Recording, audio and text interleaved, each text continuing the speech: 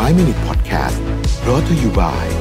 หยุดพักวางแผนเพื่อไปต่อกับ Mission to the Moon Retreat Planner 2023 สั่งซื้อได้แล้ววันนี้ที่ Line Official at Mission to the Moon สวัสดีครับ 5 minutes นะครับ คุณอยู่กับรวิทยานุสาหะครับ วันนี้เอาบทความย่อของหนังสือที่ชื่อว่า Life Force ของโทนี่โรบินส์นะฮะเอิ่มมาเล่าให้ฟังนะครับ คนคนที่เขาไปย่อมาเนี่ยเขา เขียนหัวข้อว่า Tony Robbins 9 point longevity checklist นะฮะบอกว่าหนังสือเนี้ยหนา 600 หน้านะฮะแต่ว่าอันเนี้ยใช้เวลาไม่กี่นาทีเท่านั้นเองนะครับในการฟังสรุปนะฮะทำอะไรบ้าง 9 เรื่องของเอ่อ Tony Robbins นะฮะข้อที่ 1 ครับ hydrate นะฮะฟังดูเหมือนเป็นเรื่องเอ่อหมูหมูนะฮะหมูหมูมากๆ แต่แค่เนี้ยหลายคนก็ยังทำไม่ได้นะฮะการดื่มน้ำให้เพียงพอ นะครับโทนี่โรบินส์บอกว่าอเมริกาเนี่ยเป็นประเทศที่ dehydrate under nourish แล้วก็ sleep deprived zombies นะฮะคือคือนอนก็ไม่พอกินก็ไม่ดีนะครับแล้วก็ยังดื่มน้ำไม่พออีก อันนั้นก็อันที่หนึ่งอันที่สองนะครับกินอาหารที่เป็นอาหารไม่ process อาหารที่ไม่ process นะครับเขาบอกว่าสมมตินึกอะไรไม่ออกเนี่ยนะให้นึกอะไรก็ได้ว่าเราพยายามหาของที่มันอยู่ในฟอร์มที่มันมันไม่เปลี่ยนแปลงมากที่สุดนั่นคือไม่ process เช่นคุณกินกล้วยอย่างเงี้ยนะฮะมันก็ไม่ process ใช่ไหม เป็นต้นนะครับ หรือว่า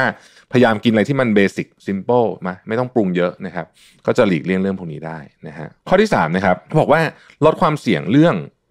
ออของโรคภัยไข้เจ็บต่างๆนะครับลดความเสี่ยงเรื่องโรคภัยไข้เจ็บต่างๆ เช่น อันนี้ก็เกี่ยวข้องกับการกินเหมือนกันนะฮะเเกี่ยวข้องกับการกิน เช่น คุณต้องกินผักเขียวหลากหลายนะฮะเพื่อได้รับวิตามินที่เพียงพอป้องกันโรค คุณต้องเดินนะฮะเดินรับ เดินข้างนอกอะรับแดดนะวิตามินดีอะไรเงี้ยนะครับป้องกันโรคนะครับข้อที่4นะฮะ commit to an eating window นี่คือ IF นั่นเองนะครับ IF ก็คือว่าอย่างน้อยที่สุดเนี่ยนะฮะเขาบอกว่าเอาแบบไม่ต้องคิดอะไรมากเนี่ยคุณต้องฟาสต์น้อยวันละ 12 ชั่วโมง ก็คือมีช่วงที่ไม่กินอาหารเนี่ย 12 ชั่วโมง นี่คือมินิมัมขั้นต่ำนะฮะคือบางคนบอกว่าต้องกินข้าวเช้ากลางวันเย็นอาได้ แต่ว่าคุณก็ทำให้มันไอ้สามมื้อเนี้ยอยู่ใน 12 ชั่วโมงนะฮะฟาสต์12 ชั่วโมงขั้นต่ำนะครับข้อที่5ครับนอนและตื่นเวลาเดียวกันทุกวัน โอ้โหยากจังนะฮะยากมากเลยแต่ว่า อืม อันนี้แหละ ผมรู้เลยว่าเป็นของที่ดีจริงๆนะครับเขาไม่ได้บอกว่าให้นอนน้อย คือเข้าใจว่าพวกบางคนก็นอนน้อยนะฮะแต่การนอนและตื่นเป็นเวลาเดียวกันทุกวันเนี่ยสำคัญมากนะครับ ข้อที่ 6 ครับทำให้ร่างกายแข็งแรงมากขึ้นนะฮะยกน้ำหนัก 3 ครั้งต่อสัปดาห์ เขาบอกว่าเนี่ยผมเขียนเอามาจากตรงนี้นะ your muscle don't care whether you're man or woman นะฮะ they must be used คือคุณจะเป็นผู้ชายผู้หญิงไม่รู้แต่ว่ากล้ามเนื้อต้องใช้นะครับ เพราะฉะนั้นเนี่ยต้องยก weight แล้วก็ยก weight นี่ไม่ได้แบบถึงต้องไปฟิตเนสตลอดเวลานะครับน้ำหนักตัวเราเองนี่ก็เป็นน้ำหนักที่ดีมากนะฮะ body weight นั่นเอง ข้อ7นะครับพัฒนา cardio system ของเขานะครับ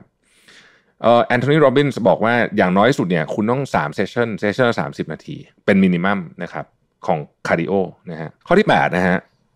ลอง heat cold therapy นะ heat cold therapy อันนี้ถ้าไปอ่านหนังสือเขาจะเขาจะเขียนละเอียดมากนะครับเขาจะมีแบบเขาเป็นคนที่แบบแช่น้ำน้ำแข็งนะฮะก่อนเอ่อเหมือนกับ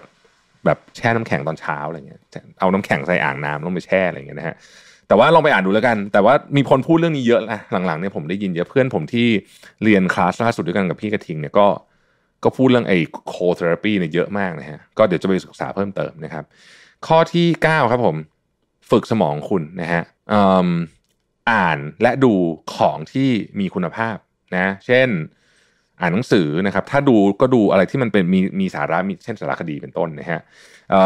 และที่สำคัญที่สุดเลยเนี่ยทำ meditation ทุกวันนะทำ meditation ทุกวันนะครับ เขาบอกว่าคนที่ทำงานเยอะๆเนี่ยควรจะ meditate ให้ได้ถึง 30 นาทีต่อวันโอ้นะนานมากทีเดียวแต่ว่านี่แหละฮะอันนี้คือ ฝึกสมองคุณเขาบอกว่าฝึกถ้าร่างกายต้องการไปฟิตเนสยกยก weight ยก weight หรือไปวิ่ง cardio หรือไป stretch โยคะเนี่ยสมองก็ต้องการหนังสือแล้วก็ meditation นะฮะนี่คือ 9 ข้อ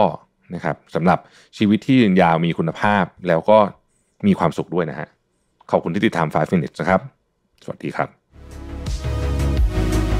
5 Minute Podcast Presented by หยุดพักวางแผนเพื่อไปต่อกับ Mission to the Moon Retreat Planner 2023 สั่งซื้อได้แล้ววันนี้ที่ Line Official at Mission to the Moon